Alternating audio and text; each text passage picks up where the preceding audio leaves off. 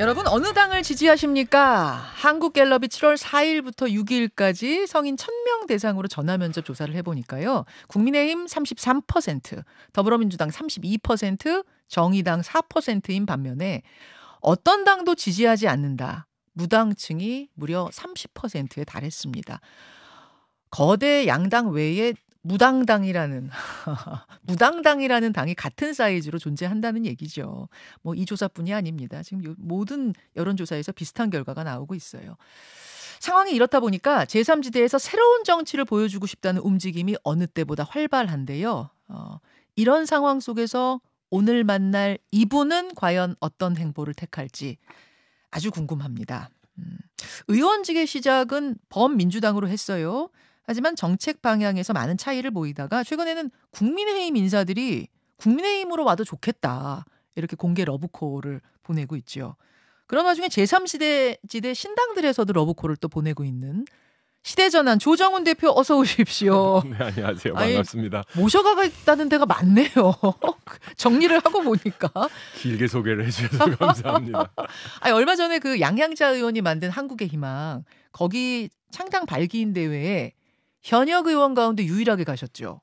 네. 그거는 참여하고 싶어서 가신 건가요? 어떻게 되는 건가요? 아, 그건 전혀 아니고요. 예. 어, 제3지대 제가 3, 4년 해봤거든요. 예. 어떻게 보면 이제 아, 밑 빠진 독에 물 붓기 같이 힘든 길입니다. 그 길을 가신다고 하길래 아, 절학도 가서 응원해 드려야겠다 해서 갔더니 마침 저밖에 없더라고요. 그래서 살짝 오해를 받기도 했는데요. 아 혼자일 줄은 모르고 가셨는데 가니까. 예, 양양정께서 뭐 현역 의원 대여섯 명 올 거다라고 하셔가지고 같이 가서 악수락도 해야겠다 했는데 네. 이제 저 혼자였습니다. 아, 그래서 이렇게 되죠. 네.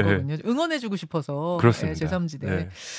지난 총선에서는 어 민주당이 위성 정당으로 국회에 합류하셨어요.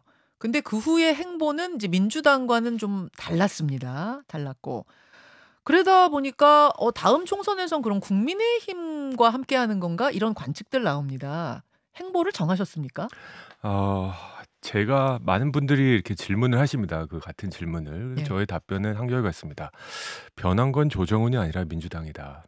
음. 아, 저는 어, 옛날에 김대중 대통령, 노무현 대통령의 민주당과 이재명 대표의 민주당은 사뭇 다르다 어. 생각합니다. 상징하는 가치들과 아, 행동하는 정치 양태가 너무 다르고 아쉽다. 아, 음. 아, 최근에 어, 김무성 대표가 네. 이끄는 마포 포럼에서 저를 초대하셔서 네. 가서 이제 강연을 했는데 김무성 대표가 저보러 이제 호랑이 굴에 들어와서 호랑이를 잡아라. 네. 그래서 국민의힘으로 와도 좋겠다 그 말 한 분이 김무성 전 대표죠. 네, 저희 무대라고 알려져 있는 김무성 대표셨는데 네. 제가 호랑이 굴에 토끼로 들어가면 잡아먹히지 않을까요? 아, 네. 아 호랑이 호랑 여기서 말하면 뭐 호랑이 굴이라 하면 뭐 호랑이 굴로 들어와서 네. 이제 지금 은유법의 교환이니까. 그렇죠. 네, 그래서 호랑이굴에 들어가는데 토끼를 들어가면 잡아먹히지 않을까요? 저 새끼 호랑이는 돼야 되지 않을까요? 그랬더니 어. 들어와도 될 것 같아, 안 죽을 것 같아, 음, 라고 하셨습니다. 아, 그러면 마지막 결론은 뭐예요? 어, 들어와도 될 것 같아, 안 죽을 것 같아. 여기에 대한 답변. 새끼 호랑이는 된 것 같다. 뭐 이런 네. 평가를 해주셔서 감사해서 네. 제가 그 후속 인터뷰에서 그냥 저를 꽃꽂이로 쓰시려면 저는 음. 관심은 없고 음. 정말 어, 개혁을 위한 수술 칼로 쓰시려면 제가 과감하게 들어가서 제 정치 생명을 걸고 해볼 의지가 있다. 음. 이렇게 말을 했더니 그, 그 뒤로 문자 폭탄 뭐 특히 국민의힘 당원들이 와달라 와서 국민의힘 개혁해달라 아. 굉장히 많은 그 문자 세례를 받고 있습니다. 아 거기서 말하는 문자 폭탄은 악플이 아니고 이번엔 악플은 와달라. 아니어서 예 그렇습니다. 오. 어. 실은 제가 여기서 예. 살짝 도발적인 얘기를 했던 거는 예. 제가 책임도 지겠다라는 뜻이었습니다. 음. 저도 정치 생명을 걸고 해야 될 결정인데 그냥 단순히 시도해보고 아니면 말고가 아니라 음. 대한민국 정치 정치가 바뀌어야 된다. 그러니까 무당층 30%라는 건 그야말로 무당당이라기보단 음. 지금 정치 바뀌어야 된다라고 믿는 분들이 음. 10명 중에 3분. 실은 그것만이겠습니까? 반 이상이라고 생각하고 전부라고 생각합니다. 음. 아, 이걸 하는 방법이 밖에서 제3지대를 만드는 방법도 있지만 네. 프랑스의 마크롱, 영국의 토니 블레어처럼 거대 정당을 안에서부터 기억하는 음. 그런 사례들도 있거든요. 예, 예. 네, 많은 국민들이 마크롱, 마크롱 사례를 말씀하시는데 실질적으로 보면 제3당을 만드는 것도 있지만 기성 정당을 아, 정말 혁신적으로 바꾸는 것도 있습니다. 어. 그래서 이런 길 중에 어떤 길이 대한민국에서 어, 가능하고 어, 성취 가능한지 아, 그런 고민들을 지금 하고 있고요. 음. 시대전환 주요 지도부와 당원들로부터 많은 의견들을 구하고 있습니다. 음, 국민의힘에서 러브콜이 있었고 혹시 혹시 민주당에서도 러브콜 보내는 분들이 계세요? 민주당은 지금 하나의 민주당이 아닌 것 같아요. 아, 하나의 민주당 한 덩어리가 아닌 것 같아요. 예, 소위 친명계 의원님들은 저를 보는 눈빛이 좀 쌀쌀하시고요, 솔직히. 예. 상임위에서도 좀 쌀쌀하십니다. 예. 아, 약간 그 사귀다가 안 좋게 헤어진 아? 애인을 바라보는 눈빛 왠지 아. 시는것 같아요. 아, 그 눈빛. 아, 그 눈빛. 그 눈빛. 예. 예. 근데 이제 소위 비명계 의원님들은 뭐 만나면 뭐 각도를 바꿔서 다가오셔서 악수하고 잘 어. 지내냐고 고생한다고 하시고 조만간 보자고 하시고. 예. 그래서 아, 민주당으로 들어와라 그런 분도 계세요? 뭐 본인의 좋겠다? 거취조차도 아직 확정되지 않았기 때문에. 아, 아. 근데 이제 언젠간 같이 하자. 아. 너 아직 우리 편이지 뭐 이런 어. 그런 눈빛. 뭐 그렇군요. 뭐 그러고 있습니다. 어느 당이 됐든 어, 수술 칼로서 나를 사용하겠다고 하면 기꺼이 들어가서 환부를 잘라내는데 내가 쓰겠다, 쓰이겠다, 수술 칼이 되겠다 그런 말씀. 근데 이제 어떤 분은 그런 말씀도 하시더라고요. 그 얘기는 어느 당이든 상관없이 들어갈 수 있다는 얘기는 그만큼 정체성이 불명하지 않다는 얘기는 아니냐. 네. 어떻게 생각하세요? 저의 정체성 그리고 다음 총선의 제 1차 전선은 너무 명확합니다. 저는 586 운동권 퇴진이라고 생각합니다. 586 운동권 퇴진? 저는 다음 총선에서 586 선배들이 국회에서 어, 떠나서 어, 최대한 많은 분들이 집으로 가셔야 된다고 생각합니다. 어. 다음 총선에서도 586 운동권 국회의원이 국회의원을 해야 될 이유를 저는 찾지 못하겠습니다. 왜 그렇게 생각하실까요? 어, 후배 세대인 저희보다 어, 미래를 바라보는 눈이 더 앞서 있을까요? 음. 글로벌 대한민국을 어떻게 이끌어야 될지 아는 눈 경험이 저희보다 앞서 있을까요? 음. NL로 상징되는 남북 관계론을 아직도 밀어붙여야 된다는 게 우리 국민들로부터 동의를 받을 수 있을까요? 어. 그분들이 정치를 계속해서 어, 후배들보다 그 자리를 차지하고 있어서 대한민국 정치를 개선할 수 있다고 믿는 국민이 얼마나 계실까요? 이제 유효 기간 끝났다고 생각합니다. 어. 지금 후쿠시마 오염수를 상대하는 그런 방법들, 예?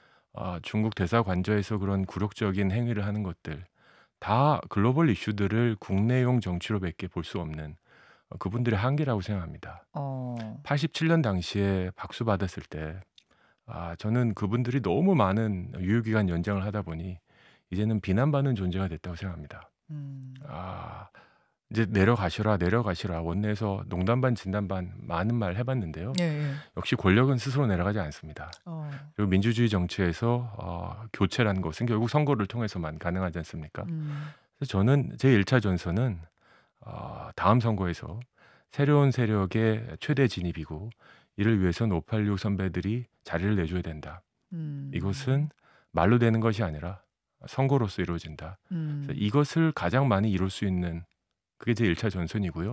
저의 정체성이 희박하다고 하시는데 저의 정체성은 엔타이 586입니다. 엔타 안티 586. 안티 586입니다. 안티 586이 정체성이다. 저는 이제 586 어. 세력들과 각을 세우고 싶습니다. 어. 남북 관계도 NL 이제 믿지 않습니다. 586 운동권의 한 축을 이뤘던 음. NL적 접근이 아니라 이런 특수 관계 같은 네. 민족이라 우리 삶은 소대가리도 참자라는 그런 얘기가 아니라 이제 국가 대 국가로 대하면서 어, 상호주의 원칙에 북한이 우리를 위협하면 우리도 그에 상당한 조치를 취할 수 있다라는 상호주의 원칙 어. 이제는 아, 받아들여야 된다고 생각합니다. 그럼 안티 586이라는 목표를 어떻게 효, 가장 효율적으로 달성할까 생각하면서 그 자리가 국민의힘이 될지 민주당이 될지 혹은 제3신당이 될지 다른 제3신당과의 연대가 될지 이건 고민하겠다는 말씀으로 그렇습니다. 이해하면 되나요? 네. 어디에 깃발을 꽂고 싶을지 목적이 뭔지 조정훈이라는 정치를 어떻게 예. 평가받을지 분명한데요. 예. 그것을 달성하는 방법은 아직 고민하고 있습니다. 알겠습니다. 그럼 현안 하나하나를 좀 예로 들면 서 최근의 현안을 보면서 조정원 의원의 생각은 어떤지를 들으면 네. 들으면 뭐가 좀 잡힐 것 같아요. 지금 통일 얘기하셨는데 아주대학교 통일연구소 소장 3년 하셨죠. 네, 그렇습니다. 예, 그런 경력이 있는 분입니다. 다음 주에 인사청문회가 열리는 통일부 장관 후보자 김영호 교수 대북 강경파로 알려졌습니다. 김정은 정권을 타도하고 체제를 붕괴시켜야 한다. 남북 관계는 적대 관계다. 요런 대북관을 피력했던 분이기 때문에 국방부 장관이면 몰라도 통일부 장관으로 적합한가? 이제 이런 의문들이 내정 직후부터 따라붙기 시작했거든요. 어떻게 보십니까? 아, 많은 질문들을 만약에 제가 아, 청문회에 앉아 있으면 하고 싶은 질문들이 참 많을 것 같습니다. 예. 저는 아, 이제는 민족이라는 한민족이라는 특수주의에 있어서 북한이 저렇게 생떼를 부리는 걸 다 참자 이건 이제 끝났다고 생각하는데 어. 그 반대가 북한을 침몰시키자 이런 적대적 대북관이 답이다라고 생각하지는 않습니다. 어. 말씀드린 대로 상호주의 원칙에 따라서 어, 북한이 우리에게 위협을 가하면 우리도 이에 따른 대응을 해야 된다.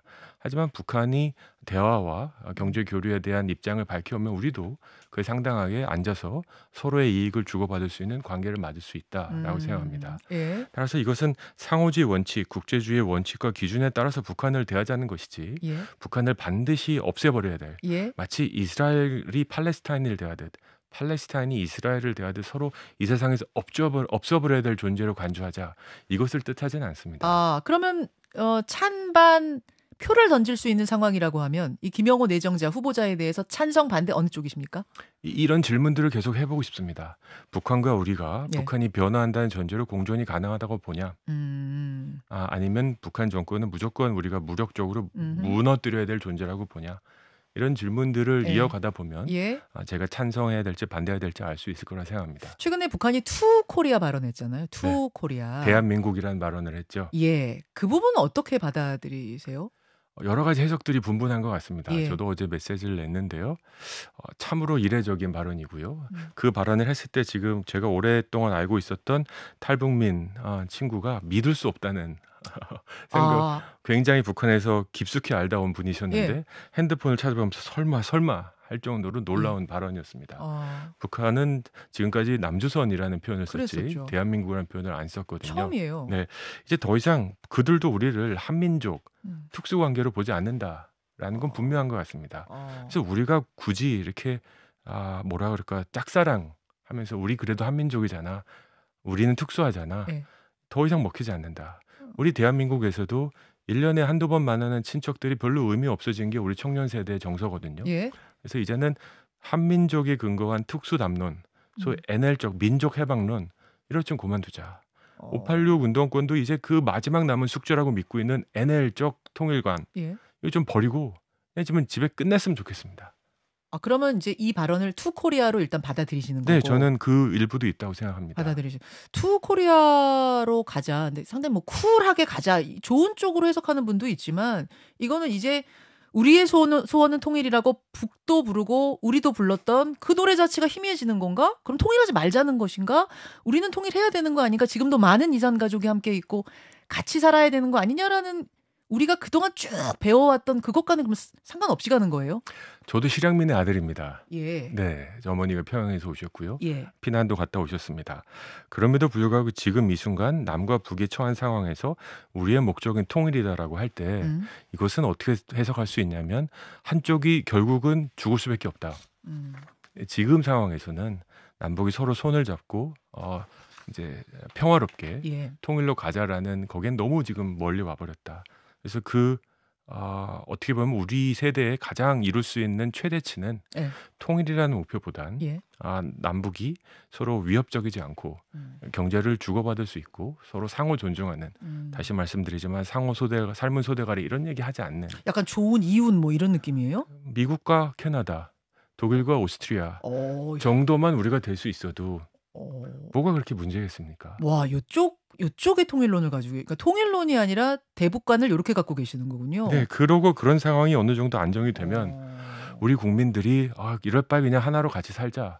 라는 생각들도 일어날 수 있다고 생각합니다. 자, 이제 조정원 의원의 생각들 을 하나하나 듣고 있는데 하나는 지금 양평강 고속도로 시간이 별로 없죠. 서울 양평강 고속도로 민주당 국정조사 하자고 했는데 여기에 대해서 어떤 입장이십니까? 아 이거 뭐 너무 간단해서요. 뭐 말할 것도 없습니다. 1조 원이 들어가는 세금으로요. 아, 가장 경제성과 환경성이 좋은 길을 만드는 건 당연하고요.